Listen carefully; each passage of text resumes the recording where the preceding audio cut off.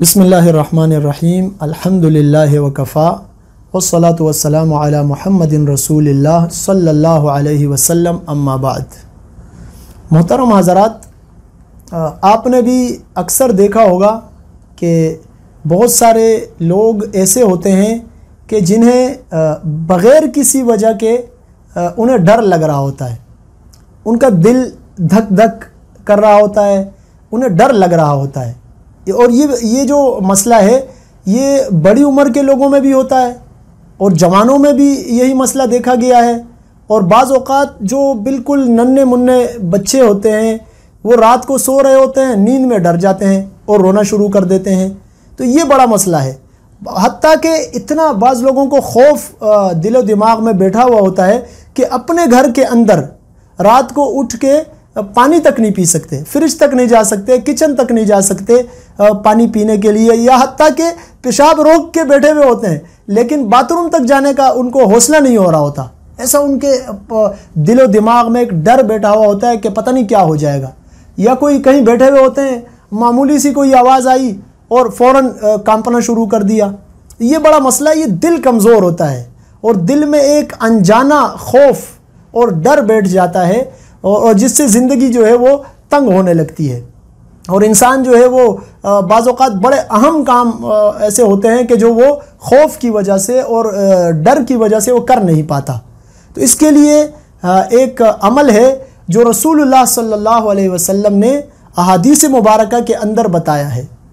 रसूलुल्लाह सल्लल्लाहु अलैहि वसल्लम की एक मुबारक दुआ है, जो आप सलाम अपनी दुआओं में मांगा करते थे। नबी करीम सल्लल्लाहु अलैहि वसल्लम अपनी दुआओं में मांगा करते थे, अल्लाहुम्म इन्नी आउज़ुबिका मिनल जुबनी वल कसली। ए मेरे परवरदिगार, मैं पनाह माँगता हूँ बुजदिली से। ए मेरे परवरदिगार, मैं आपकी पनाह में आता हूँ बुजदिली से और सुस्ती से। बुजदिली से और सुस्ती से। तो ये जो अहादीस मुबारक के अल्फाज हैं इसका आप इन अल्फाज के माना को आप जहन में रखें, इसके माने का इस्तेजार करते हुए, माना अपने दिल दिमाग में रखते हुए, ये दुआ आपने पढ़नी नहीं है। आप ये लफ्ज़ को ज़रा गौर से सुने कि आपने पढ़ना नहीं है, आपने ये दुआ मांगनी है। जैसे आप कोई चीज़ मांगते हैं दिल से, अल्लाह मुझे ये चीज़ दे दे। तो इस तरीके से एक दिल की गहराइयों से और अल्लाह तबारक व ताली की तरफ़ तवज्जो के साथ आप अल्लाह से मांगें कि ए अल्लाह मुझे बुजदिली से आ, मैं आपकी पनाह में आता हूँ ए अल्लाह सुस्ती से मैं आपकी पनाह में आता हूँ। अगर आपको ये अल्फाज याद नहीं होते वैसे तो ये बड़े नूरानी अल्फाज होते हैं जो अहादीस के अंदर आते हैं और उसकी अपनी तासीर होती है। लेकिन अगर फ़र्ज़ करें आपको ये अल्फाज याद नहीं होते तो आप अपने अपनी ज़बान में आप ये मांग लें अल्लाह ताला से। आप अपनी ज़बान में अल्लाह तबारक व ताली से बुजदिली से और सुस्ती से पनाह मांगना शुरू कर दें। इन आप देखेंगे कि आपका दिल मज़बूत हो जाएगा। और आपके दिल से जो एक अनजाना खौफ है, जो बगैर किसी वजह के आपके दिल में खौफ बैठा हुआ है, वो खौफ बिल्कुल ख़त्म हो जाएगा और इन आप निडर और मज़बूत दिल के मालिक बन जाएँगे। तो एक तो ये है कि आप मुस्तकिल ये दुआ मांगना शुरू कर दें। यानी बगैर किसी तादाद के आप ये दुआ मांगना शुरू कर दें या इसको अपने मामूल का हिस्सा बना लें। तो एक तो ये तरीका है। दूसरा ये कि बुज़ुर्गों का बताया हुआ एक अमल है कि आप बतौर वजीफ़ा के अगर आप ये अमल करना चाहते हैं तो आप ये करें कि रोज़ाना किसी भी एक नमाज़ के बाद, फजर हो, जोहर हो, असर हो, कोई भी नमाज़ हो, किसी भी एक नमाज़ के बाद जिसके बाद आपको सहूलत हो, आप इकतालीस मरतबा ये दुआ अल्लाह से मांगें। तवज्जो के साथ, माना जहन में रखते हुए आप हाथ उठाएँ और इकतालीस मरतबा अल्लाह से मांगे किसी भी एक नमाज़ के बाद। अव्वल आखिर आपने तीन दफ़ा दुरूद इब्राहिमी जो नमाज़ में जो दुरूद पढ़ी जाती है, वो दुरूद आपने पढ़नी है। और आप इस अमल को बानवे दिन नाइन्टी टू दिन आपने ये अमल करना है।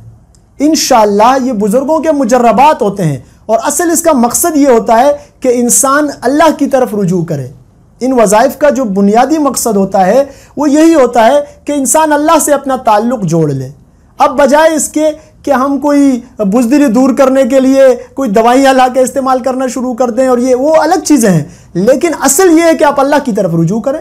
और रुजू का बेहतरीन तरीका ये है कि जो रसूलुल्लाह सल्लल्लाहु अलैहि वसल्लम का की मांगी हुई दुआ है, आप वो दुआ मांगें इन इसके असरात आपको अपनी ज़िंदगी में महसूस होंगे।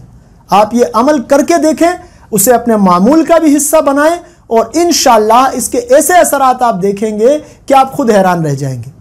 तो आप ये अमल करें, बानवे दिन कम अज़ कम आप ये अमल करके देखें इन आपके दिल से जो वसवसे हैं, जो खदशे हैं और जो डर और खौफ है कि पता नहीं क्या हो जाएगा, इस तरह की चीज़ें आपके दिल से अल्लाह तबारक व ताली साफ़ फरमा देंगे और आप एक मज़बूत दिल के मालिक बन जाएँगे।